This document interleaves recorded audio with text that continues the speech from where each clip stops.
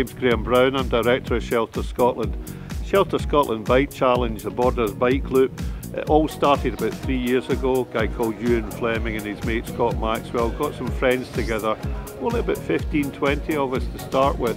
Uh, and we did we did the one day and we did the 100 miles Borders Loop.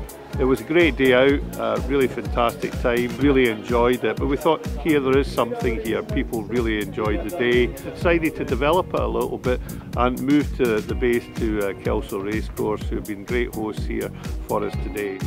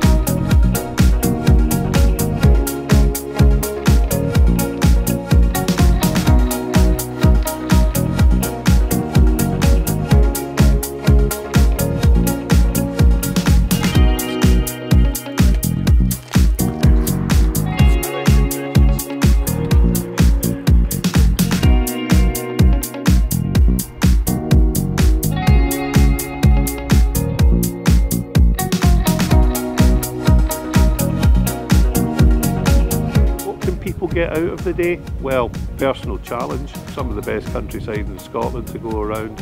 Uh, that is fantastic in itself. And here, listen to this, for the last three years we've had no rain.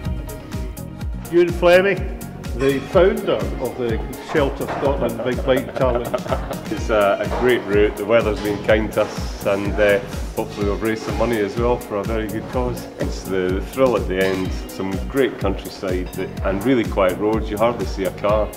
Um, and just get a bit of training and why not? It's, if I can do it, anybody can. Well there we go. Ewan, thanks very much again. Thank you. Cheers. Pleasure.